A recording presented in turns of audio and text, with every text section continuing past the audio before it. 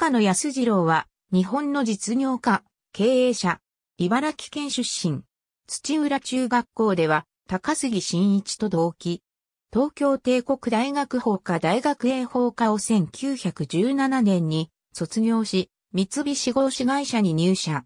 三菱重工業神戸造船所、航空機部などを経て、1942年、三菱重工業名古屋航空機製作所長となる。1945年常務に就任。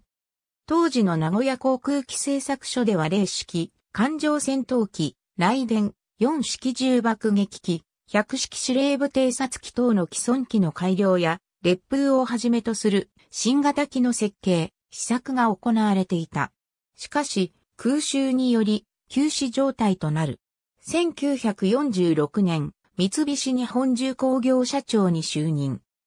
敗戦後、連合国軍最高司令官総司令部は、占領下での航空機の生産、研究を禁じるが、岡野は航空は必ず再開すると主張し、設計技術者が社外に散り散りになることを避けるため、造船、橋梁、自動車、産業機械などの分野に分散して温存することに努めた。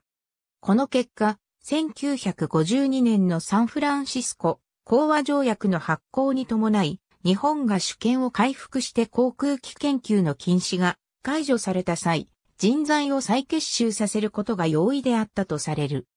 1950年1月、財閥解体で三菱重工が3分割された際には、その代表生産人となったが、1957年、辞任。1964年6月の再合同で相談役に就いた。